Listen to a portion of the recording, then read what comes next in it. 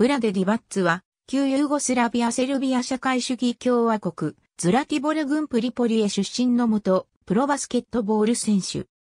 アメリカに渡り NBA のロサンゼルス・レイカーズやサクラメント・キングスなどでプレーした。216センチメートル、120キログラム。ポジションはセンター。サクラメント・キングスの球団社長を務めていた。マドリードで行われた1986年バスケットボール世界選手権にユーゴスラビア代表として出場した。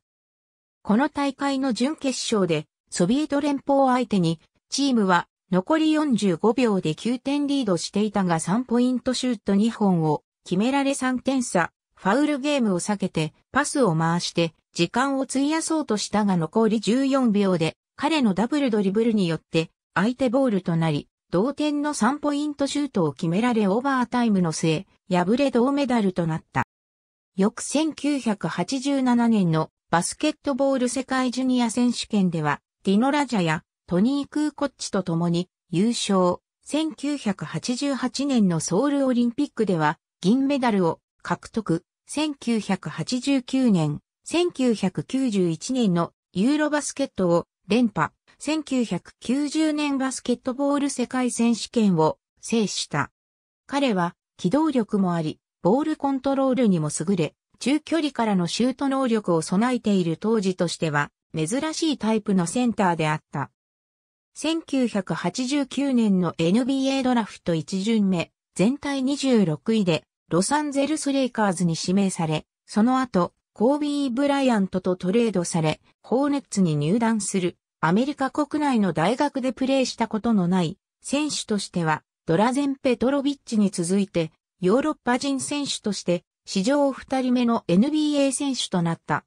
当初、英語を全く話せなかったにもかかわらず彼はすぐにチームへ溶け込み、その才能をどうなく発揮する。結果、この年彼はオールルーキーファーストチームに選ばれた。2年目の1991年にはシカゴブルズとの NBA ファイナルに出場したがチームは1勝4敗で敗れチャンピオンリングを逃した。その後1996年の NBA ドラフトの際、コービー・ブライアントとのトレードでシャーロット・ホーネッツに移籍し2シーズンをホーネッツで過ごした。1998年にオーナー側のロックアウトがされた際にはセルビアで2試合プレーした。その後サクラメントキングスに加入し、クリス・ウェバーやペジャストヤコビッチと共にドアマットチームだったキングスをウェスタンカンファレンスの競合に押し上げプレーオフの常連とした。その後、キングスとの契約延長を望んでいたがチームとの話が進まず6シーズン在籍したキングスを退団、NBA ファイナルで敗れ、シャキール・オニール、ゲイリー・ペイトン、カール・マローン、デレック、フィッシャーの対談したレイカーズに復帰した。しかし背中の負傷で彼は十分なプレーをできず、この年15試合に出場、平均9分の出場で2.3得点、2.1リバウンドに終わった。2005年7月14日に現役引退を発表した。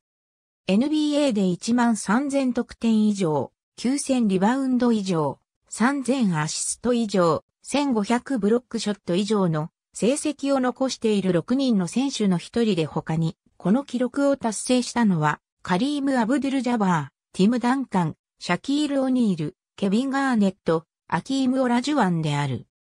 2009年3月31日、サクラメント・キングス時代の背番号21が永久欠番とされるセレモニーがアルコアリーナで開催された。2020年8月15日、サクラメントキングスの球団 CEO を辞任すると発表。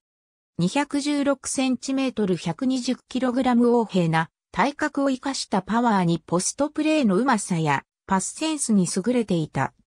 ヨーロッパ人選手として初めてシーズン成績でダブルダブルを記録するなど、ヨーロッパ人選手の先駆けとして活躍をしフィバの殿堂入りを果たした。ABC ソロボダン・ジョージ・ジェブ、スビン・ブロヨ・イエダン・バン・セルビア。